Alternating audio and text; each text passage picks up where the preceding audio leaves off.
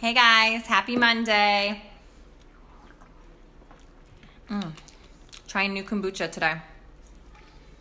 Pretty tasty. Wanted to hop in here super quick. I haven't been doing live videos as often. Want to get back on the train. And of course, a child just walked in and will need my immediate attention. Hey, buddy. I'm gonna push the button. I'm not ready to push the button. I just got on. No. Can you say hi? Hi. Hi. Okay, can you go get Jude for me? Mm-hmm. Because I don't really want you here while I'm talking. Go Why? find Jude. Go find Jude really quick. Why? Why is it always every time I get on? It's like, let me bother you. Ah! Okay, go get Jude. Go get Jude and then I'll be with you, okay? Okay, so, anyways, I was just outside um, reading a book, you guys, and I wanted to pop on here. And I always have aha moments when I read a book, and today I had an aha moment. And it kind of goes into yesterday, Jordan and I gave a uh, speech on communication for marriage and couples, and they allowed us to kind of, isn't he, Sam's crazy?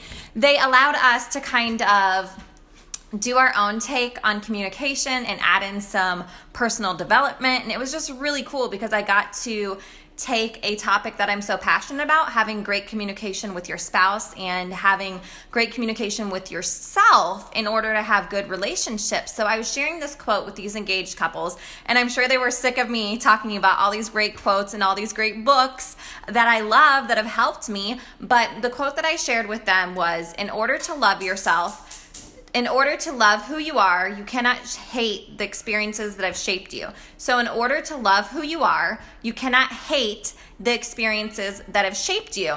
And when I read that to Jordan, he's like, Well, that's dumb. And I'm like, how is that dumb? That is an amazing quote. And it is so true because we go through life with all these things that we're carrying in this bag, a backpack per se, on our back of all these things that we failed at, all these things that are counted against us, all these lies that we've told ourselves over the years, all these things that bullies have said to us, all these things that we just build up in our mind.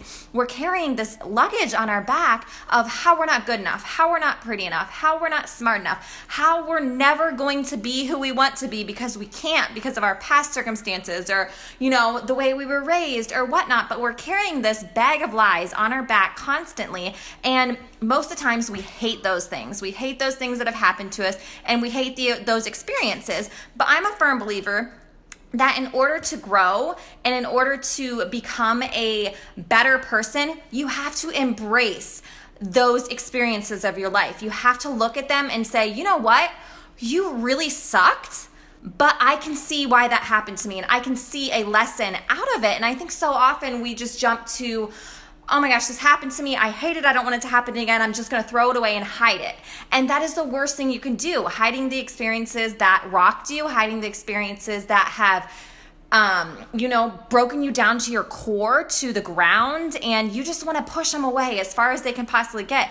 But you have to embrace them and you have to accept them for what they are. And you need to pick them apart and kind of look at them as an experiment and see what did I learn from this? What can I take away from this experience that, you know, I can use in the future instead of just tossing it to the back and saying, oh, I don't want that to happen again, or I don't want this to go go on and it's just terrifying you know with all these fears that are in our head. And i was reading today mastering your mean girl. This is an amazing book you guys.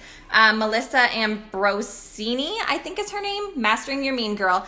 It is amazing because it's talking about this first ta- chapter is talking about choosing love over fear. And for me right now this is like weighing super heavy on me because i am having to choose every single day whether i wake up terrified that I'm going to miscarry and lose this baby, or I can choose to believe that everything is going to be okay. So for me, constantly, every day, I have this choice of living uh, out of fear and letting the fear dictate my entire day, letting it consume me, or I have the choice to push that back and say, you know what, this did happen to me, but I'm going to choose to look at the bigger picture. I'm going to choose to look at the better things in my life and I'm going to choose love because when I choose fear, it ruins everything. It ruins your entire day and it ruins your course going forward. And when you choose fear, like right now, we're in pregnant mode and it's very, very scary. And like I said, I can choose fear and I can miss out on a lot of my life by worrying about what's going to happen or worrying about what could go wrong tomorrow or the next week or the next week.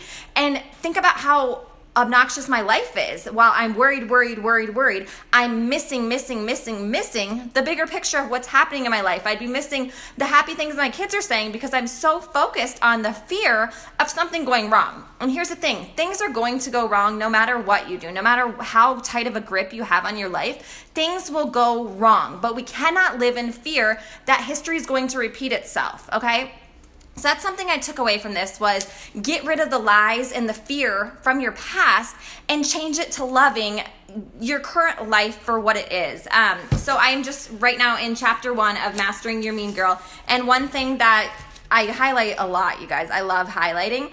But she said, so next time you go to press play on an old story, stop, take a breath, let it go, and choose to come back to the present moment. So, you guys have these same things where you start to think, okay, let's say you're going in for a job interview or you're walking into a mom's group and it went bad the last five times you went.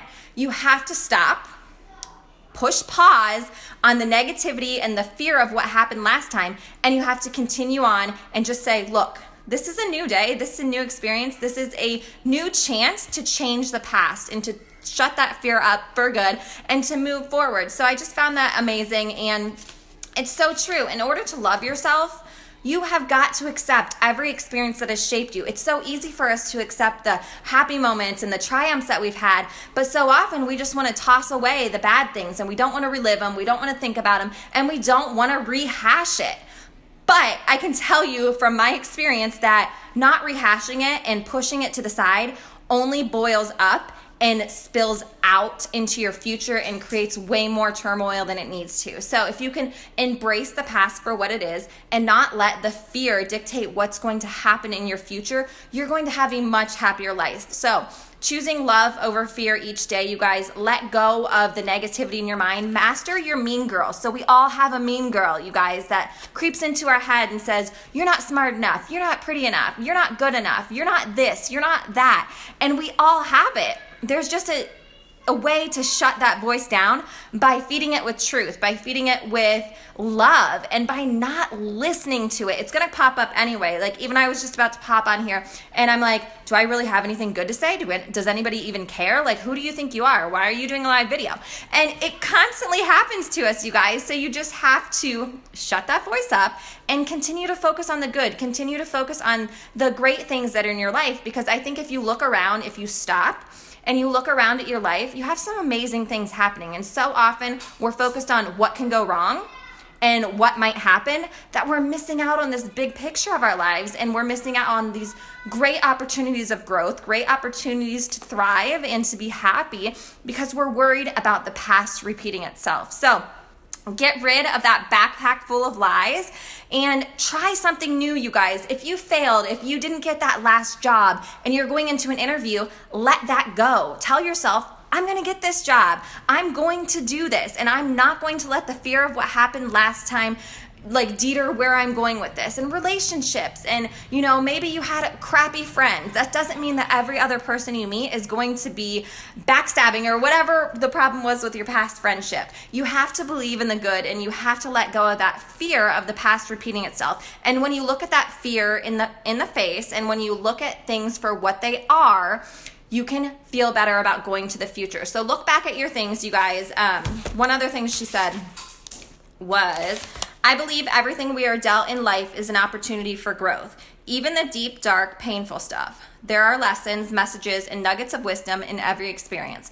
Our job is to open our awareness, find the nugget, and embrace the learning. So go back, you guys. I'm asking you to kind of dig deep because I know how critical it is for growth and to be a better person and to just be a more empathetic person and to love more wholeheartedly. Look at those experiences of your past like and look at them and really dissect them and think what did i learn from this? Because when i look back on experiences that really rocked me my parents getting divorced um, us losing henry you know breakups in college there were huge life lessons in those moments that i didn't want to dig up for years because i didn't want to feel those feelings. And i didn't want to i didn't want to rehash it but when you rehash it and go into it with a calm mind you can pick out some amazing things. So, my parents getting divorced, that doesn't, a lie I told myself was, you're going to end up getting divorced. You're going to end up having a bad marriage as well because your parents did it. You know, those lies that you tell yourself. I know you guys have a ton of them, but just because it happened to them doesn't mean it's going to happen to me. And if I look at it from an outside perspective and with a calm heart, I can see that that's not me. I'm not my mom. Jordan's not my dad. We don't have the same relationship. And if I want to have a great relationship, I can change the future, but I can't carry that fear along with me every single day that, oh my gosh, my parents got divorced, so that means I'm destined for divorce. You could take this a million different ways, you guys, but do not let fear dictate where you're going in the future. So, that quote that I said that we shared at the marriage, um, conference yesterday was in order to love who you are, you cannot hate the experiences that have shaped you. So stop hating the experiences. Yes, they suck and you probably don't want them to happen again, but go back to those experiences. Take notes, you guys. Getting to know yourself and how you tick and what you've learned from these experiences is so key to becoming the person that you want to be because I don't think any of us are done growing. I know I'm not done growing. There's a lot more I want to do and I want to be a better person every single day. And that takes me going back to experiences that I don't like to go back to and really taking note of what I learned from those experiences. Because if you guys go back and you look at the hard times in your life, you will see how much growth has come from those experiences. And when you see that growth, when you look back at that moment, when you look back at, when I look back at Henry's death, I'm not upset because I saw how much I grew. I'm not upset that my parents got divorced because I saw how much it changed my heart towards marriage. So look back, you guys, take some notes, get to know yourself. If I can say anything, get to know yourself because I see this vicious cycle of people carrying this fear around every single day, especially in my challenge groups of fear. I never finished anything. I can't finish it now. I've never done this. I can't do this. Yes, you can. Look back at why things didn't work pick it apart, see what you can fix, and move forward because you are not defined by your past at all. And one quote for today that she said, and I'm gonna wrap this up, was she gives these little soul shares, and I thought this one was great. So this is just something you you can repeat to yourself every so often when you're feeling just a little bit of disconnect with yourself. So you are not your experiences, your circumstances, or your past. Repeat that. You are not your circumstances, your experiences, or your past. And when you start to believe that, and when you start to keep telling yourself that, you can shut that fear down and you can begin to love. So I hope that helped you guys. My inner mean girl was telling me it didn't help you, so hopefully it did. But pick up this book, you guys. This is amazing. Reading books is just amazing. I, I just, all I did was take 10 minutes today and I had this huge aha moment from 10 pages. So, grab a book, you guys. Mastering Your Mean Girl is amazing. And I mean, boys could read it too, but let's face it, you guys are all women on here. Mastering Your Mean Girl, check it out. Stop hating your life for the past and start shaping the future for what you want it to be. I love you guys. I hope you have a great Monday. Bye.